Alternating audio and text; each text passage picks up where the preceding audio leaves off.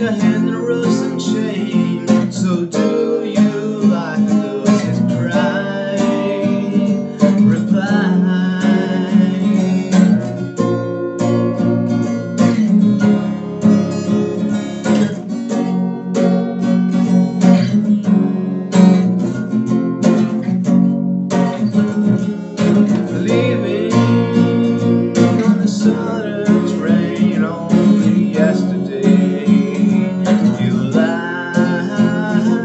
Take